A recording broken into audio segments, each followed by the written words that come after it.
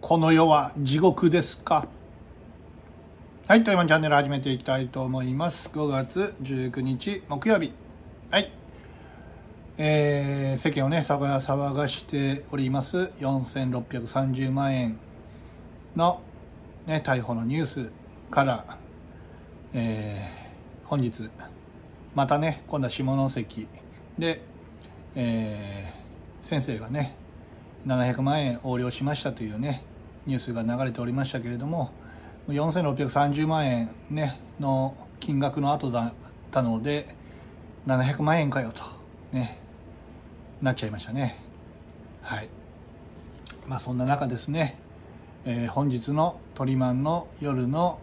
来店人数は1人でした。えー、散歩途中にですねウォーキング途中にねあのお好み焼きをね食べに来てくださったね常連のマダムが、えー、ね、ご来店くださいましてそれで終わりとなりまして、まあ、昨日はね、まあ、実質、まあ、ほぼ身内だけだったので、まあ、実質昨日もね坊主みたいなもんだったんでね2日連チャンほとんど坊主みたいなのが続いたんでねさすがにねがっくりきましたね。この世はね、えー、地獄ですかと。ね。私も4630万円じゃなくていいです。700万円じゃなくていいです。300万円ぐらいください。はい。というわけでね。えー、まあ、地獄かよっていう感じだったんですけれどもね、まあ、そんな中ね、えー、常連のねおばあちゃんがねこれマスターこれ使ってっつってですねマスク日本製のマスクとね手袋手袋ねくださいましてね持ってきてくれてですね使いって言ってからねくださいました。というわけでね今日の、えー、売り上げはですね、えー、8060円とマスクと手袋になりました。ありがとうございました。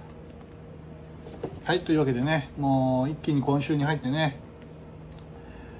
えー、本当にもう日本の株アメリ米米株日本株、えー、ビットコインかよっていうぐらいね、えー、トリマンのチャートもね右肩下がりでね、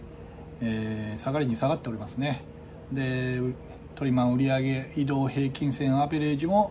だだ下がりになってきておりますということで、先週ね、ちょこっと先,、えー、先週がね、三振かホームランかみたいな感じでね、あの団体のね、お客様が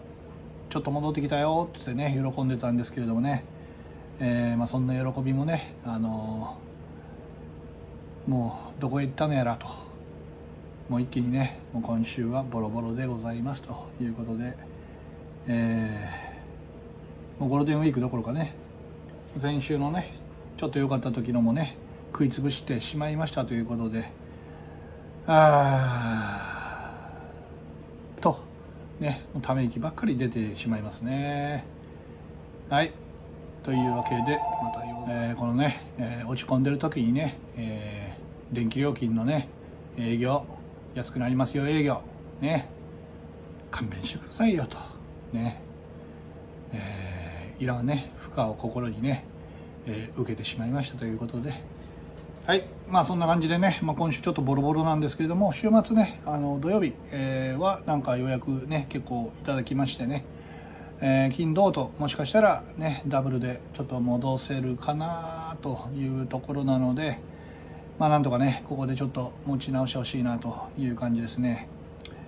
まあしかしね、えー、山口県ここへ来てね、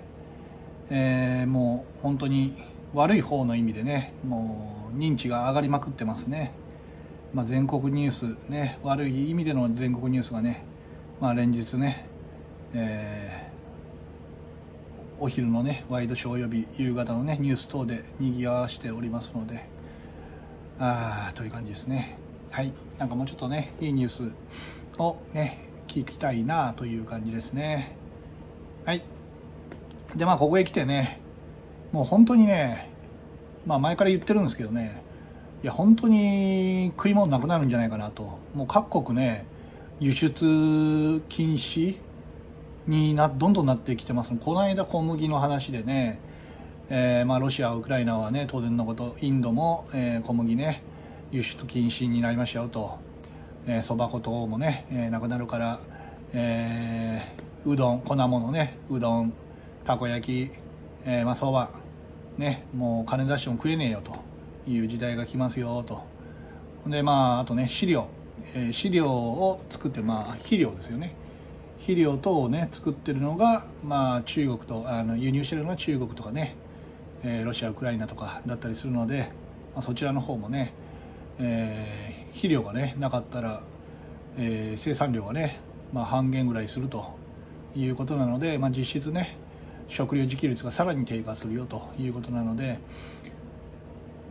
肥料がないからね、えー、米もね、えー、減あの減るということで食うもんねえなと日本、えー、ということでねもうなんか飲食店をやってるんですけどもね売るもんがないどころかね自分が食うもんすらなくなるねちょっと未来が見えてきてきてきたのでまあちょっとねなんか、まあ、今日もねあのほぼ坊主みたいな感じだったんですけどもね。まあなんかそういうね未来もちょっとなんか暗くねこう乗っかってきてですね。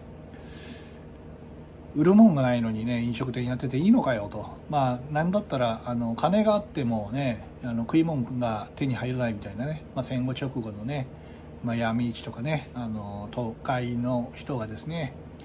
えー、農家の農家さんと行ってからですね、まあ、この着物とか宝石でねコメント書いてくださいみたいなね。そんな石ころでそんな着物で米なんかやれねえよっていうね世界観がまたねやってきそうなのでね恐ろしいなと思いながらですねまあ日本マジやべえなというのをね、えー、日々感じておりますという感じでねいつまで飲食店ができるのかなと売るもんがね本当にいつまで入ってくるのかなっていうね。高いだけならまだしもね、えー、本当に入ってこないってなったらですねどうするよってなりますからね。はい。まだまだねこの世の地獄はね序盤なのかもしれません。まあこれからが本番なのかもしれません。まあ去年、えー、一昨年か、まあ、コロナ禍始まった頃ねえー、もう潰れそうやとねもう大変ですわみたいな感じになってましたけどね。まあ、あの頃はねまだ幸せだったのかもしれません。ね。本当の地獄はこれからなのかもしれませんね。ということで、えー、もう2日連チャンでねほぼ坊主だったのでもうがっくりきてねえー、えー、って感じです。はい。なんかね楽しいことをやっていかにゃいけんなとね思いますね。心に栄養を心豊かに心に栄養をと。ねいう感じですね。はい。というわけで終わります。